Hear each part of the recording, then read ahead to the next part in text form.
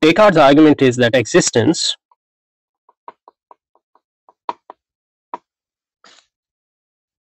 can, let me write it so don't waste too much time.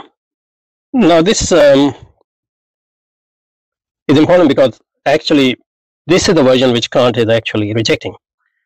And what uh, Descartes is saying that existence can no more be separated from the essence of God. So the main terms are existence and essence, remember them.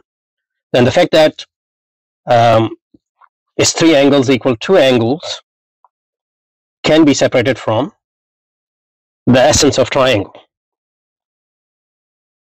The essence of triangle. It is a contradiction that it is a contradiction to say that to think of God, which is the idea of God, that is uh, supremely perfect being lacking existence, that is perfection. So here the two terms, important terms are um, the two important terms are existence and essence. And the concept of idea. So we have idea of God as a supreme perfect being. Okay, that's the idea. So like that's one step in this.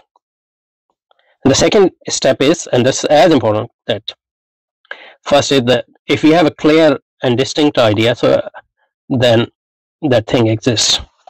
That's a separate uh, argument actually. Um, but here the argument is that existence is perfection. That means it's a kind of predicate. Uh, and example of triangle is important. Uh, the example, the concept of triangle, um, Descartes says, is that three angles of a triangle equal two right angles. So you can't say that it is a right angle, but deny, um, uh, sorry, you can't say it is a triangle, but deny that its angles equal to triangle. That's a contradiction in term.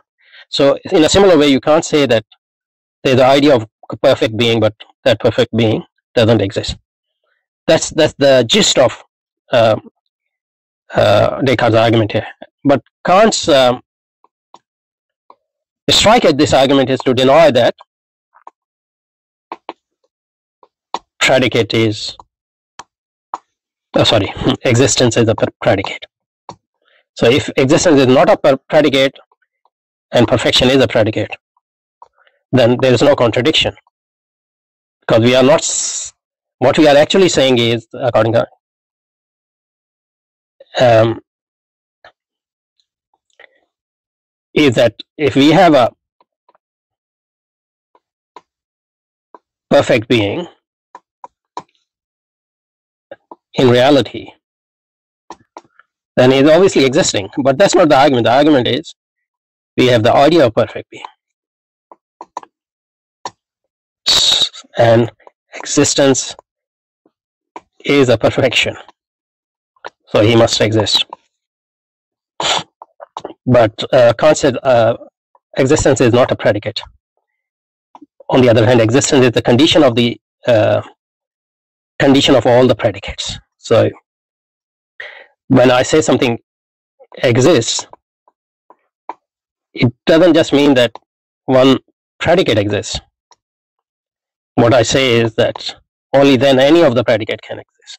And existence is, the, in a sense, ground of all predicate, but not itself a predicate.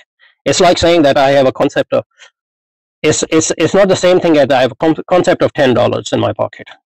That's totally different from having um, ten dollars uh, in reality in my pocket.